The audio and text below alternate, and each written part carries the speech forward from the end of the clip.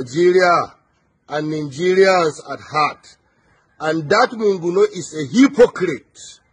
If he is the NSC and he think he have available power within him, let him arrest me. He is corrupt, he's a thief, is a problem to the security of this country. If people are afraid, I'm not afraid, I'm only afraid of God. Because Monguno is only busy stealing the monies meant to protect us. That is it. And the better for you, Mr. President, remove Major General Monguno is the most useless NSA ever produced in the history of Nigeria. Thank you very much.